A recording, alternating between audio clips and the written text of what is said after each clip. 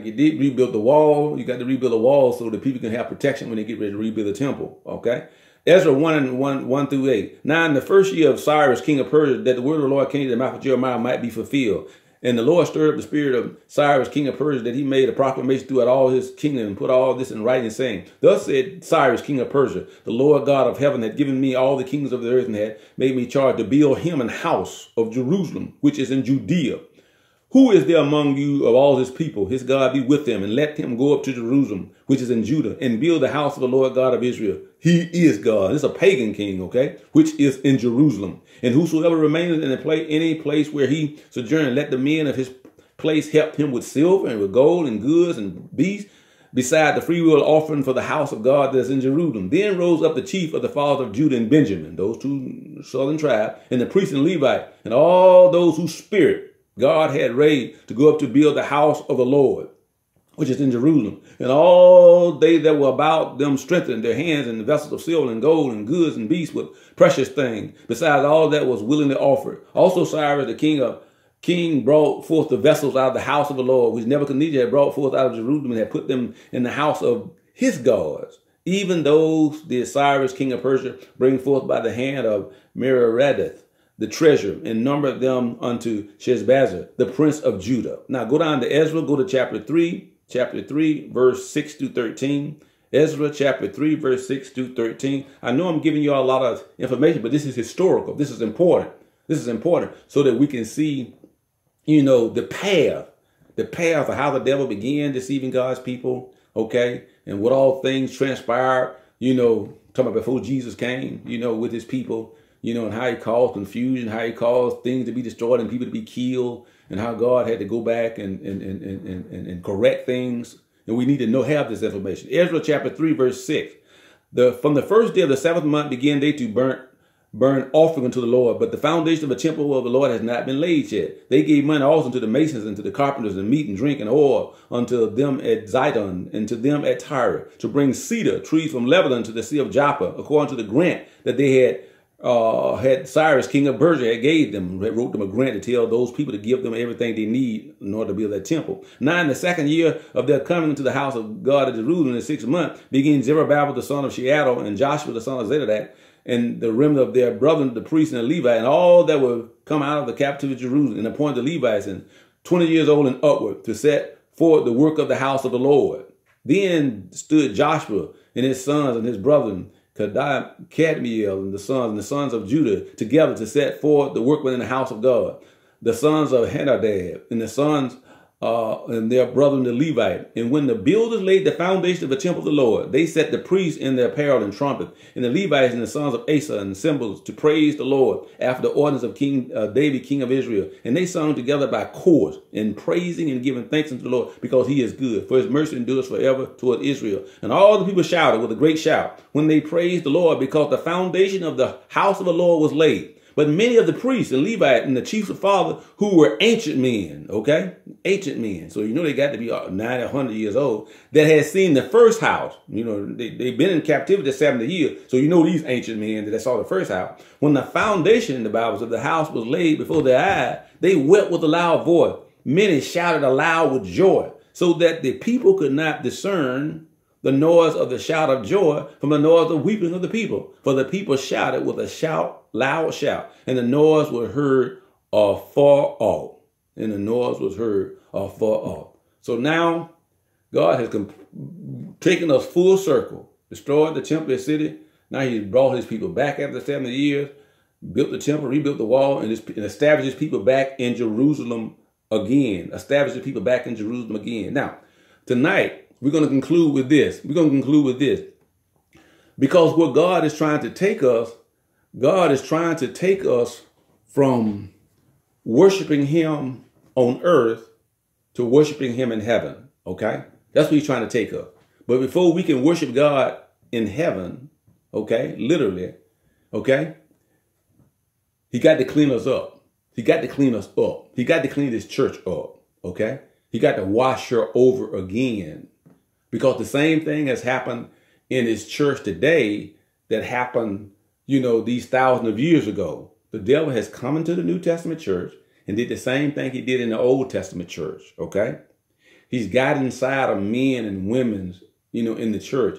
And inside these men and women in the church, the devil has used these vessels, okay, of dishonor to deceive God's people. And as a result of that, a lot of God's people from the pulpit to the back door have led God's people into the worshiping of other idols, into the worshiping of other God, into setting up altars, okay, for other God, into bear, bowing down to other God, into making oaths to other God, into taking vows to other God, into swearing to other God. And because these things has happened, God had to take us all the way back to show us, okay? To show us ain't nothing new under the sun.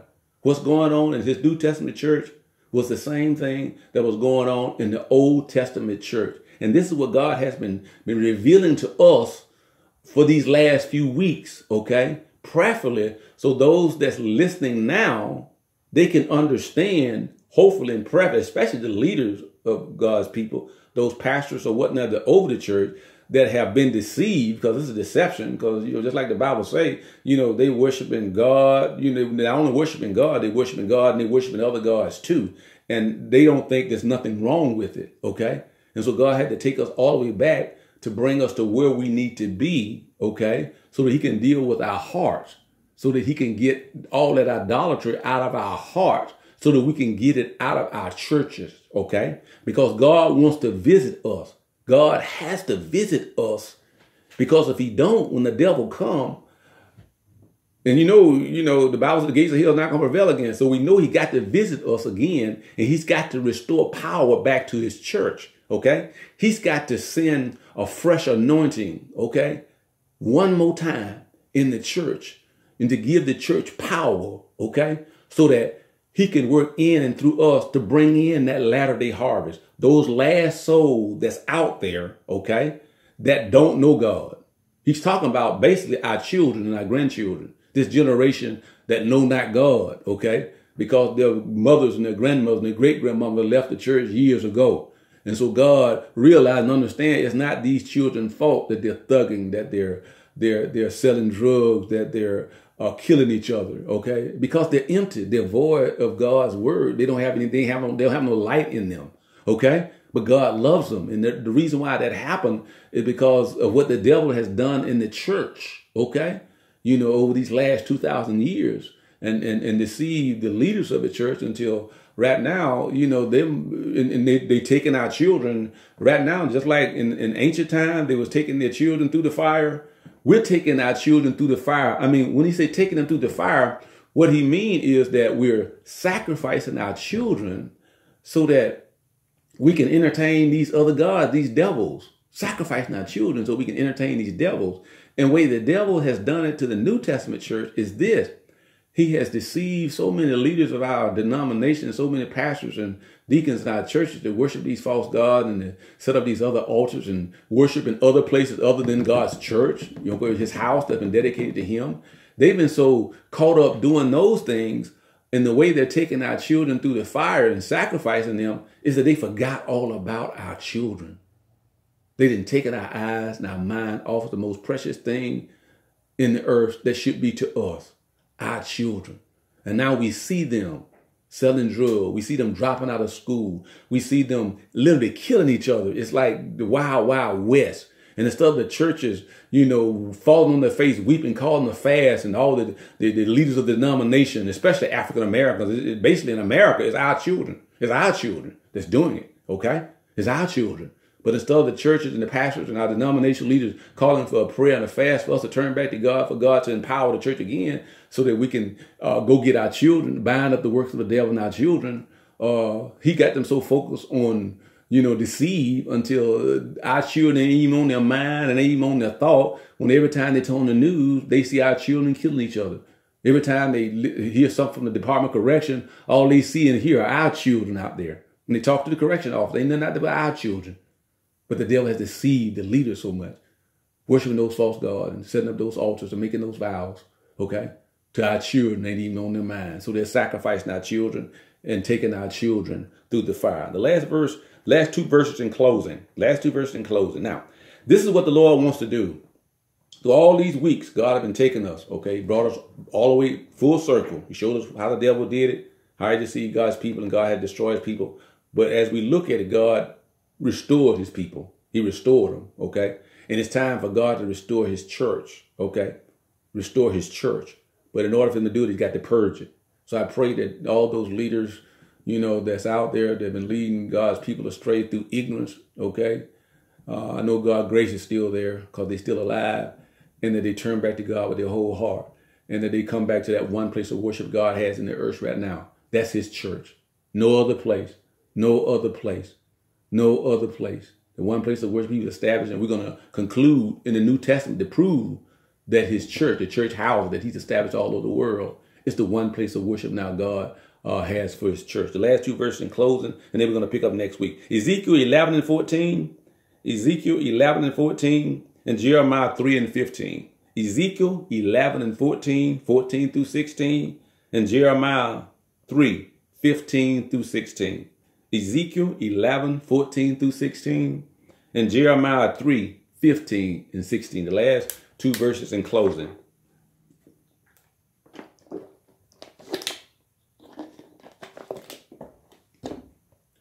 Ezekiel 11 and 14. Prophecy of houses to worship God in different places in the earth, and the doing away with the Ark of the Covenant, which represent the presence of God in the tabernacle in the temple.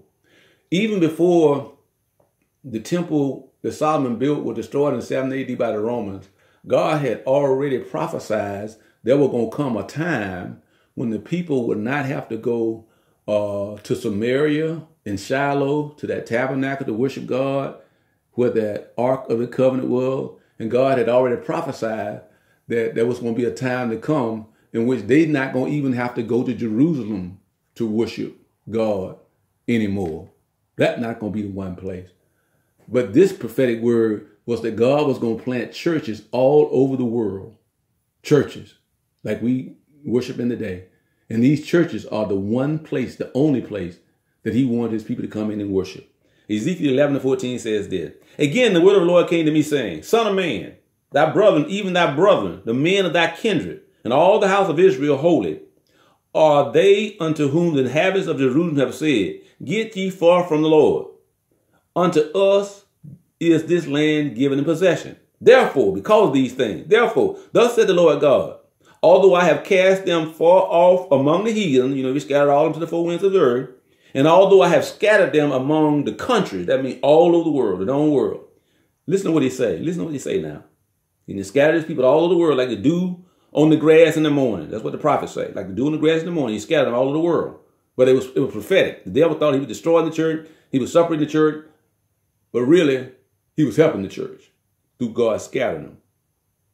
Although I've scattered them among the country, all over the world, yet, listen to what he's saying now, yet will I be to them as a what? Little sanctuary. Wherever country, wherever city, wherever town, he scattered his people all over the world.